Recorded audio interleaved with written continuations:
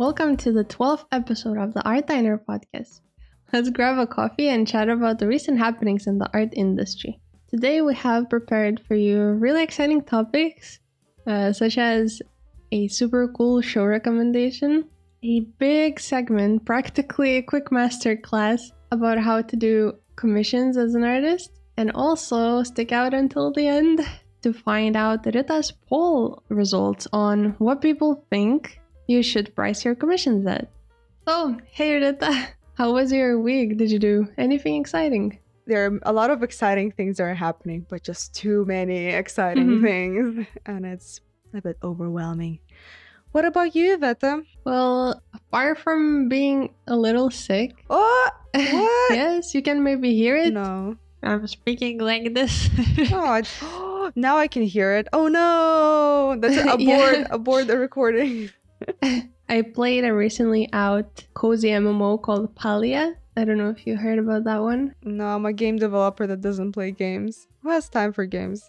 Not me. I also started watching the live action of One Piece uh, show on Netflix. Oh, I've heard about this one. Yeah, and I actually want to talk about it today. Have you seen the anime or have you read the manga? Listen, so I have not uh, seen all of the episodes yet. I am 14 episodes down. I think that a good start is half the work, right? A good start is what we need. I did hear from people who are saying that only the diehard fans can enjoy the show. For them, it might be, seem really cool when they know what's happened in the story already, but it might be a bit disappointing to people who just start to get into it. As someone who only seen 14 episodes, uh, which currently actually has 1075 episodes, I can tell you that I did enjoy it and I found it really cool. And I think, in my opinion, uh, people who don't know much about the anime or the manga can also enjoy it as much. Yeah, like if a show is good enough as a standalone show, you know, when you don't have to watch an anime, the anime, where you don't have to read all the mangas to like understand what's going on. Like if it's a good show as it is, I think that's a mark of a good show. hmm I don't see these remakes as something that has to do has to be like a perfect representation of their manga or anime equivalent. It will never be that. It's live action. Mhm. It's so hard to translate different genre content into each other. Even like stage plays when people are trying to tr- translate stage plays into live action as well. Cats the movie.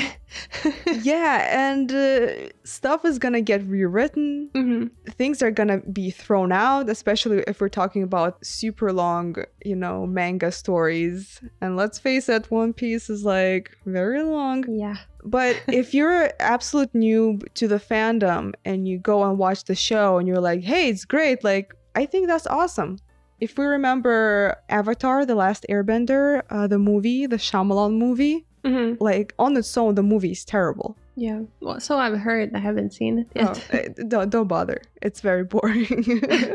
its biggest flaw is that it's an absolute drag. If the One Piece uh, show is just interesting on its own, then it's awesome. I did hear from Hila on H3H3 podcast. You probably also listened to it. Uh, that she thought, as a you know, she has Teddy Fresh, so I guess she's an expert in this. But she thought the costume design looked really cheap. But uh, I, someone who has no idea about fashion, I found it fine, uh, and I didn't mind it at all.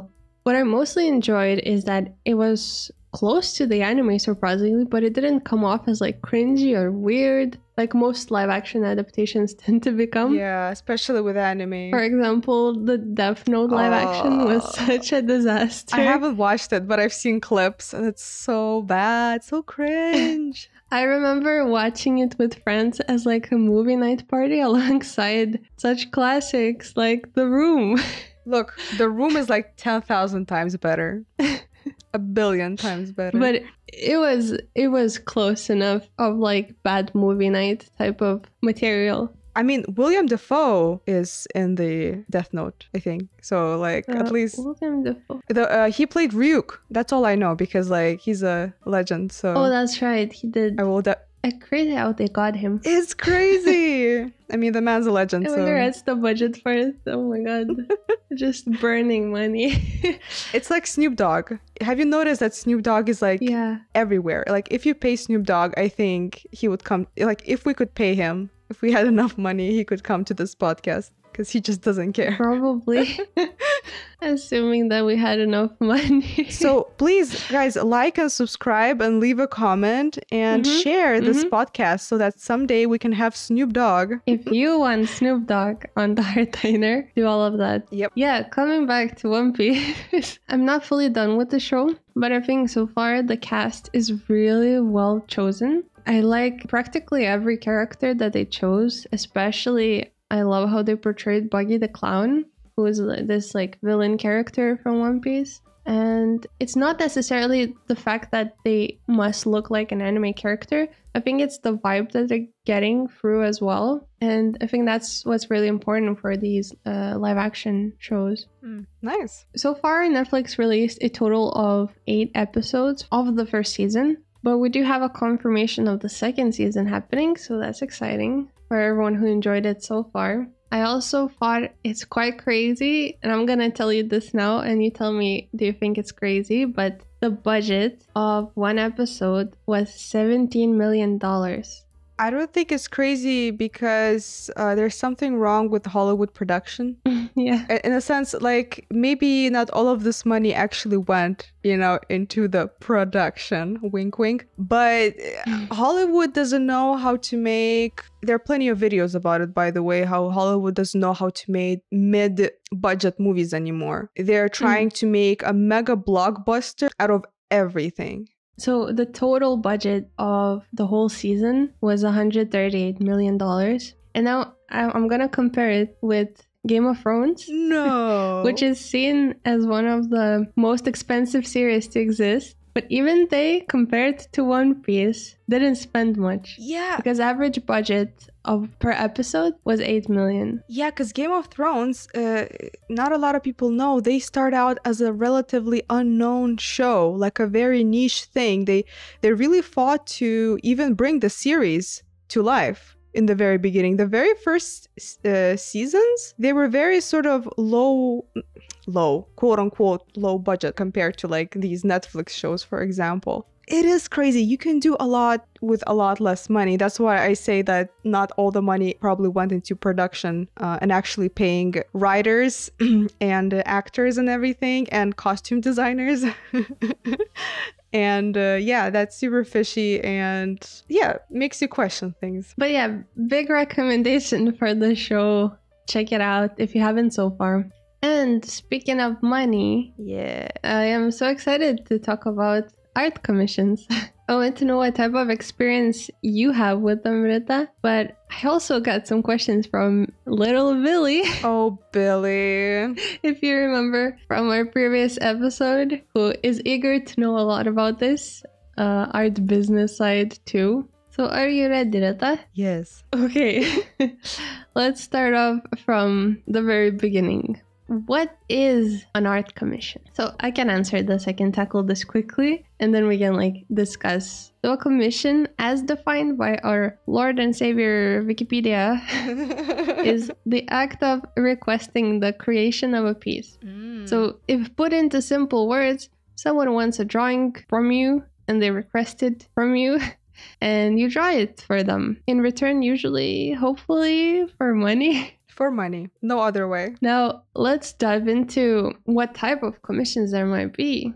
What can a commission mean? obviously art can be anything so we're not going to get into that and we'll just let's just imagine that we're just tackling visual art hmm Of course. yeah so for example if you decided to sell your work you're drawing your dinosaurs or sexy furry dinosaurs i don't know uh, and a, a client comes up and says hey billy i have a beautiful sexy dinosaur oc i would like you to draw oc is for original character and billy's like sure without even talking about money first I think Billy needs to understand what is the artwork going to be used for. Like, is this for personal use Mhm. or is this for commercial use? So, commercial use is a very complicated topic. I think that we can tackle it a bit later in a separate podcast episode. So, let's just focus on personal use artwork, which is basically a commission that you're gonna get of like character or a fan art character or family members, dogs that people just use for their own pleasure. Like they will print it, they will frame it. Yeah. They're not gonna it's not gonna be used in a commercial setting, aka not be put on merchandise, not be used to advertise things, you know. So keep that in mind. You have to be very, very clear when pricing your artwork and making rules that the commission you're drawing is for personal use. Okay, so little Billy found out what art commissions are, and they would like to know when would be the time that they would be ready to start doing art commissions. What do you think, Rita? I think any time is a good time. A commission is something, especially when it comes to personal commissions, it, it is a great ground to play around, you know, the idea of selling your own art. So, any time is a good time, especially if you see a sign that is people asking, Hey, do you do art commissions? Like, if you get this question, that means you're ready. when did you start? I'm, I'm curious. When did I start doing art? It was a long, long time ago, but the last commission I did was probably in 2017, like personal art commission. How old were you? Ooh, let's see. um, Uh, Blow the dust off of a photo album. yeah, because I was in u. I started commission do before uni. So before, I, I guess when I was 18, 19, I started doing commissions. Mhm. it was all for personal use. And throughout uni, I would do a commission or two. Then after uni, I did like a lot of commissions, but I haven't done them for a very, very long time since 2017 Hmm. at this point. What about you? I think I started when I was um I was definitely in high school, but I can't remember how old I was. Maybe around 15 years old. there used to be this game called Gaia Online. I don't know if you know. Yeah. That's where I kind of discovered that people wanted artists like in the forums they would write, they wanted artists to draw their characters from the game. And that's where I discovered that this was kind of a thing in general. And so I would do it for like in-game currency at the start. But then mm. later on, it was like my second, I think, or third commission that I did, which was for real money. Obviously, it was like I don't, I don't remember how much it was. Maybe like ten dollars. but to me, I spent like hours drawing it. But I was like, oh my god, this is actually happening. yeah. Someone's gonna give me money for this thing. So when I was a, you know, in, in high school and I was just a little art baby, to me this this was crazy and unimaginable. I didn't know that game art was a thing. I didn't know that this whole industry of digital illustrators was also a thing. Concept art for games, you know, I didn't basically I didn't know any of that. So I was just really excited to get any little sense for my for my drawings. when I started commissions, I already knew about, you know, I didn't know about the industry, like the details and everything. I Mm. just, uh, since I joined Deviant Art, I saw other people doing commissions. And I was like mimicking basically. Yeah. People would constantly post their uh, commission sheets. Yeah, I remember. Yeah. And I would copy them. copy the rules, copy the sheets, cop- copy the prices. I would also agree that you can start whenever you feel like you're ready. You can at first observe what others are kind of doing and then uh, look at your art and think whether or not, you know, anyone would be interested. Even if you think that no one would be interested, I think it's still a good experience to try it out and maybe even try to draw something for for free like for your friends you know just to like try out this whole idea of here i'm doing a request for someone and i'm trying to make this person happy you know maybe for like birthdays i think that's a good Mm. um, exercise when your friends have birthdays just draw something nice for them and like maybe their own characters or a character from a series that they would like Yeah. if you want to start from scratch i think that would be a pretty nice way to start not too like stressful obviously if you're someone who's just quit their day job to pursue art from zero, that's probably not liable to survive. So it would be a bit different. Yeah, a lot of people sadly do start commissions because they need the money. Yeah, so, you know, if you gotta do it, you gotta do it. So the next question would be from Little Billy is where to find people who need an art commission? I would answer it this way. I think there's two types of ways uh, that it might go down. So either the client will find you uh, either over social media uh, if you're actively uploading, or maybe through friends or acquaintances, or you can find clients who leave posts in different places on the internet uh, writing that they need a commission and they're looking for an artist.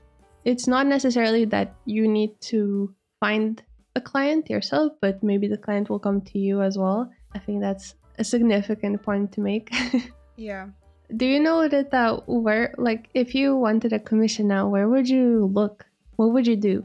Yeah, I wouldn't look anywhere because at this point, since I had the past of making commissions in the in the past, I would just uh, make a post, make an online post to look at it uh, in this way. So you're posting art on social media. That's already an advertisement in a way of your skills. And when you open commissions, make a commission post, then automatically, you know, if some of the followers are interested, they're going to contact you. This is how I got my first commissions. I didn't have to search anywhere. Mm-hmm. I didn't have to advertise anywhere. I was just posting for a while, like on DeviantArt. And then, you know, at a point, I was like, okay, I'm ready for commissions. And I just made a sheet, made a journal back in the day. remember journals? Yeah, I remember. it's so nostalgic. Yeah, so ah, journals. And and that's it. But the thing is, is that uh, funnily, right, like right now, clients still remember me. The old, mm. old clients that I had back in the day, they they will still email me if I'm open hmm. for commission. Like for new stuff. Yeah, oh. basically, just you know, draw the things you love, do the best work that you can, and then when you're ready to do commissions, your work that you already posted is the best advertisement that you can ever have. Hmm. Yeah, that's a that's a great point. I think uh, for people who, well, for before when we made that example of maybe some people can't really like sit patiently and they need the money like now because they need like food on the table or something like that, you know. Uh, if it's like that crazy, I would, um, you know, with the commissions, I always find it more like a beginner's thing. The personal commissions I meant. It's because they're very unstable as an income source. So if you want to have some more stable income source, maybe look out for getting a job, mm. like a full-time job or like a part-time job, and then do the commissions on the side. But uh, also you can see- seek out the clients yourself. I think there are a lot of different forums. There's Reddit, uh, there's Facebook groups, there's Discord groups yeah. where you can advertise your commission sheet, of course. But also some people just are looking for whoever will paint their dog in a classical painting style or who wants to have like a nice anniversary painting of them and their loved ones. I absolutely like 200 300% agree with Iveta on that point. If you don't have money right now, like if you're in a situation where you don't have money and you think that opening commissions and it's the first time you're doing it and you think that it's going to be, you know, put you in a financially stable situation like it won't. It takes a it takes time to build up clientele. It takes time, man. So like if you're in a dire situation, get a job, you know, even if it's like any job, weighing tables, whatever, and then try doing commissions on the side. Absolutely. This is a mm. very important point because so many people make this mistake that they think that mm. first time opening commissions is going to be a success. Everything is going to, no. You have to be really, really good to just start commissions and just become a what? You have to be loish. You know what I mean? It's like Yeah, I think you just have to have a big following or people who really want you to draw something custom to them. Even following doesn't equal commissions. Sadly, hmm. you see, and I've noticed that uh, when talking to other people, uh, when talking to, especially, well, when it comes to Patreons and everything, you have these people with huge followings on Instagram And then I hear about how their Patreons are doing or how their commissions are doing, and they're not doing very well because Hmm. following doesn't always equal money. Mhm. Your the art that people click like like whatever your blog whatever doesn't mean that they're gonna pay money for it. There is the distinction. So you have to be very very careful. Again, it, try it out, but don't jump into it like your only way of uh, place of income basically thinking that oh i have uh, 100k subscribers on instagram that means that i'm gonna be a successful freelance artist like no try it out first you know have that stable job on the side you can always quit the job Speaking about money, the next question would be how do I price my artwork? the mysterious i'll just call it the mysterious uh, art pricing uh, question and the answer to it is it depends That's it. Credits roll. Have a nice day, everyone.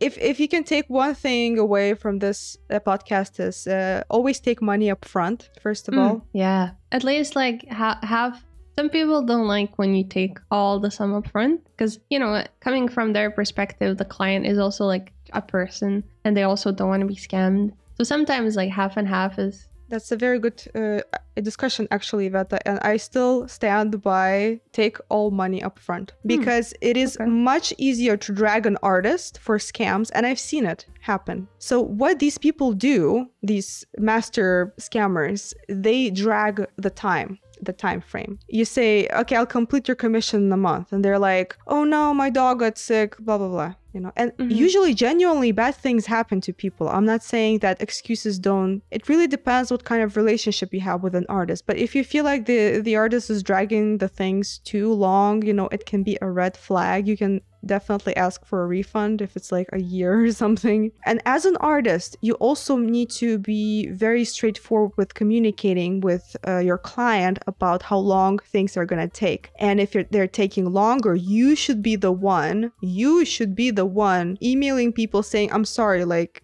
this is going to take longer than that.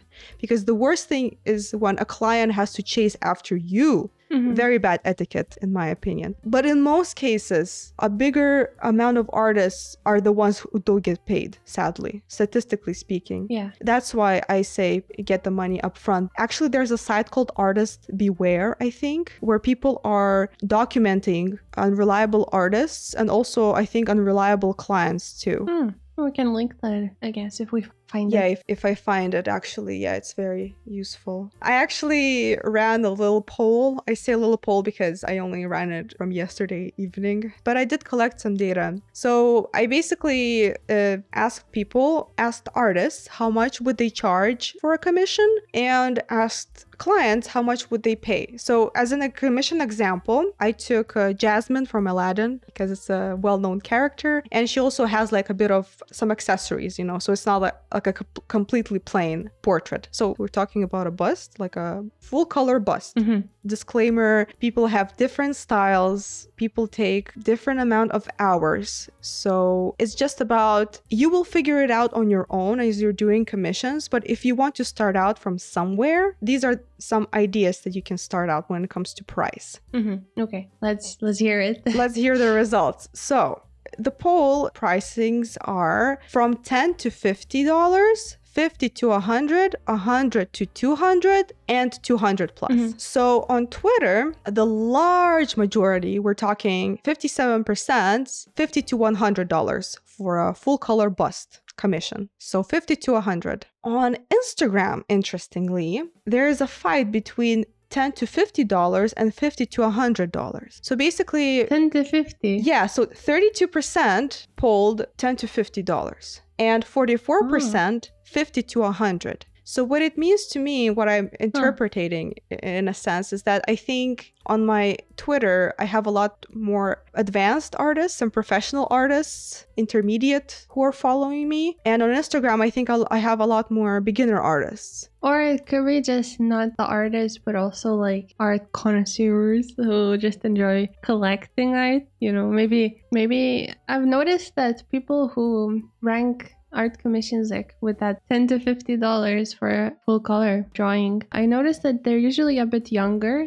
uh, meaning that they probably don't have like a really well paying job uh, Mhm. to invest a lot of money into art You'd be surprised that a lot of older people would do that too because of anxiety. Hmm. And again, like it- people a lot of people, a lot of artists in general, we we tend to undervalue ourselves, especially when you're Oh, yeah. starting out. But interestingly, for those people who are, you know, undervaluing themselves, I also ran a poll on Instagram saying how much clients would pay for your bust commission. So, same choices. There's actually a fight between 50 to 100 dollars and 100 to 200 dollars. So 10 to 50 was only 18%. So people are willing to pay over $50 for a full color bust commission. okay that's that's a lot better that makes me that makes me happier But take it with a grain of salt because first of all, you need to have some kind of a skill set. This like, Mhm. I cannot promise you that you're going to get this money, but you can start with lower end. Take like 3 slots and then see if people are willing to pay 30, 45, 50 dollars. Next time you commission, ask for more. If people are not buying it, then you can lower the prices. I think there is a, a big problem of a lot of younger artists undervaluing their art. It, it's probably more of like a separate conversation, but art babies coming into the art industry and they're, you know, also in the same market for the art commission, and they really undervaluate what they should be asking. Yeah. because maybe no one's you know buying it just now and they need the money now. So they keep on like lowering it. And then what happens over time the whole perception of the artists by these clients it changes right? The clients start to think why should i be paying you $50 for the same thing that this uh, little dude can you know do for 2 euros? So undervaluing yourself is also not not very good. What I could advise to Lil Billy when when they would want to price their artwork correctly is just looking at people around your skill level, see in their commission sheets what prices they're writing, but also be sure to estimate how long you might take making the drawing, right? So for example, if you're looking at something that's going to take you eight hours to finish, think about how much you will be earning by an hour and see if in your demographic it is correctly priced. There are also Google Sheets I've, I've seen on the internet. We can link them in the description as well. Created to see what other industry artists are getting paid according to their level and expertise, or again, you know, the demographic thing country they're hired in, stuff like that. So it's not about commission prices, but it's kind of what they're getting paid hourly. So you might want to look into that as well. as another good message in the poll that I've noticed is that artists they say that they would take 50 to 100 dollars